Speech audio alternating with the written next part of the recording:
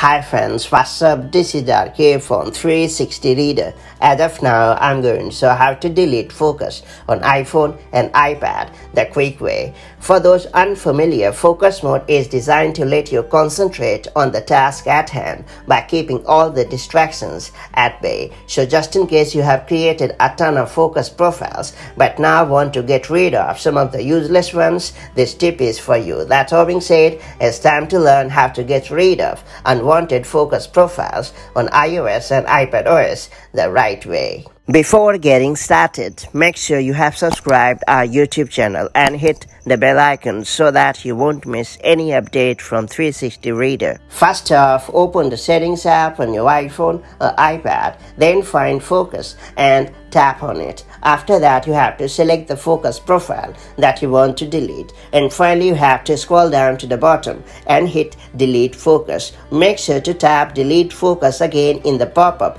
that shows up from the bottom to confirm. That's all there is to it. So that's how you can get rid of any focus profile on your iOS or iPad OS device. If you found this video helpful, do like and share it and I'll see you in the next video with more such handy tips and tricks. Till then, stay safe and have a great time. Bye bye.